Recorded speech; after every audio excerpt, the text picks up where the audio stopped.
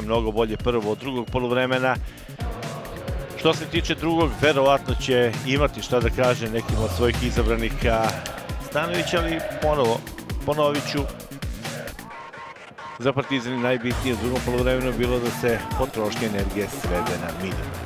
Evo detalja sa utakmice, prvo polovreme, prvi udarac Gibarsa Natha, onda greška Milisavljevića koju koriste Terdić, Menig i strelac Ricardo za 1-0 u 18. minutu. Nije bitno čime postiže golove, bitno je da ih postiže Ricardo i njegov 20. gol u Linglom Superligi ove sezone. A onda sjajan centrač Ricarda i velika prilika za Miloša Jojića. Mogao je da postigne gol glavom na ovom meču Jojić. Nije.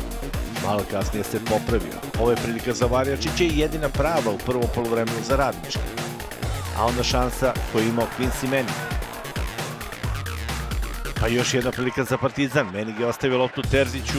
Lep dribling. Završnica je morala da bude bolja. Nakon te šanse, Jojić i Ricardo kombinuju i Jojić pogađa sa ivice kaznenog prostora za 2-0, igrao se 34. minut.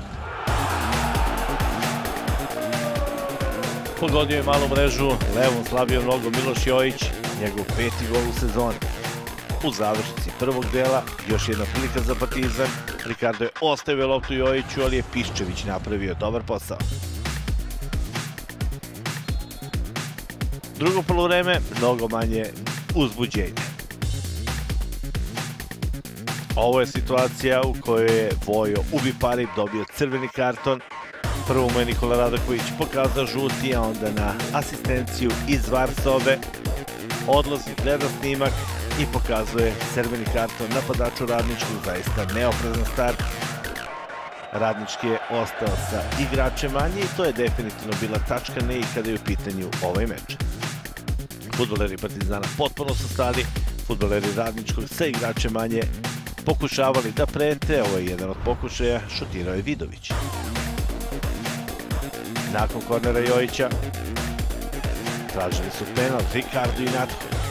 Odmah nakon ovog detalja i jedan i drugi završili su u slačionici kako bi bili odmorniji za ono što predstoji u narednih nedelju dana a to su mečevi protiv Sparti i Crvene zvezde. Ovde Đorđe Masimović traži 11 terac nakon duela sa Vujačićem. Pokušaj Marka Jevtovića za kraj, verujem, ozbiljnih situacija sa ovog meča.